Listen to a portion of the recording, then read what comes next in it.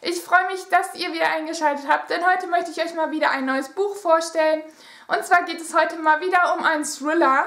Denn ich habe jetzt irgendwie meine Thriller-Leidenschaft wieder entdeckt und verschlinge so gesehen einen Thriller nach dem anderen. Und dieses Buch, was ich jetzt auch so inhaliert habe und so geliebt habe, werde ich euch heute vorstellen. Und zwar geht es heute um die Mordtochter von ähm, Karen Donny.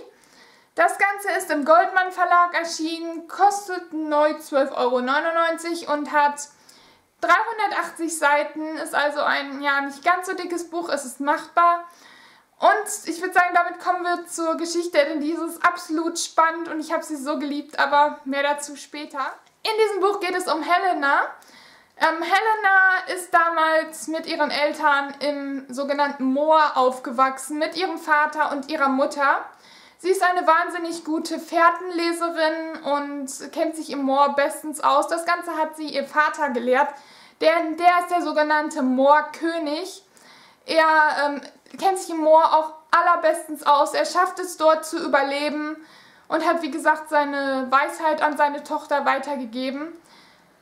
Sie, ähm, Helena hat ihren Vater dafür immer sehr bewundert. Sie hat ihn geliebt, bis sie eines Tages herausgefunden hat, wie sein wahres Ich ist. Denn sein Vater ist ein absoluter Psychopath. Er hat damals seine Mutter entführt und sie jahrelang festgehalten. Aus dieser Entführung ist auch Helena entstanden. Also ihre Mutter ist nicht freiwillig dort geblieben und schwanger geworden. Sie liebt ihre Tochter trotzdem, aber es ist halt nicht das gleiche, als wenn sie aus Liebe entstanden wäre. Und Helena hat es damals geschafft, sich und ihre Mutter zu befreien. Ähm, ihr Vater wurde ins Gefängnis gesperrt und sie hat ihn viele, viele Jahre nicht mehr gesehen. Bis eines Tages, viele Jahre später, Helena, die inzwischen eine eigene Familie hat, in den Nachrichten hört, dass ihr Vater sich aus dem Gefängnis befreit hat und sie hat den groben Verdacht, dass er sich im Moor befindet. Helena weiß genau, dass ihr Vater noch eine Rechnung mit ihr offen hat, da sie ihn damals ins Gefängnis befördert hat.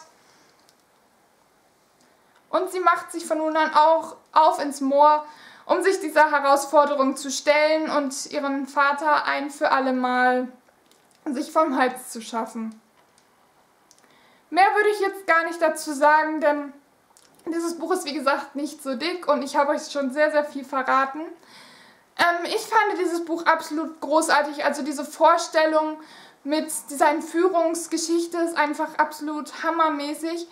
Man hat hier in diesem Buch ähm, ja, Perspektiven aus der Gegenwart und aus der Vergangenheit, also ähm, von damals, als Helena und ihre Mutter entführt wurden, wie das Ganze ähm, vonstatten gegangen ist. Man hat aber auch dann halt die Gegenwart, wo ihr Vater entkommen ist. Und es ist wahnsinnig spannend, Leute. Man hat wirklich von der ersten bis zur letzten Seite Spannung. Es beginnt schon am Anfang, es geht sehr, sehr schnell los. Es war so, so spannend. Eigentlich passiert ja noch nicht so viel, aber es wird einfach rund um die Uhr Spannung aufgebaut. Deswegen habe ich dieses Buch, ich glaube, innerhalb von zwei Tagen durchgelesen gehabt. Es war wirklich, ich habe es so inhaliert, es war so, so spannend. Deswegen hat dieses Buch von mir volle 5 Sterne bekommen. Der Schreibstil ist auch wahnsinnig toll, weil er wie gesagt so spannend und gut beschrieben ist. Und man merkt auch, dass die Autorin sich gut mit der Wildnis auskennt, mit ähm, diesem Moor, denn sie hat auch, ähm, beziehungsweise der Verlag hat auch dieses Zettelchen mit in das Buch gepackt, denn dort erzählt die Autorin ihre Geschichte, dass sie halt, äh, wie dieses Buch entstanden ist, wie sie auf die Idee gekommen ist, wie sie es umgesetzt hat. Und genau das fühlt man in diesem Buch was das Buch noch viel echter hat werden lassen. Und wie gesagt, ich habe dem Buch 5 von 5 Sterne gegeben. Es ist eine absolute Empfehlung. Es ist eines der besten Thriller, die ich in diesem Jahr gelesen habe. Und wenn ihr noch mehr dazu erfahren wollt, das Buch ist unten in der Infobox verlinkt, dann könnt ihr da nochmal vorbeischauen. Und ansonsten war es das und ich würde sagen, wir sehen uns dann im nächsten Video.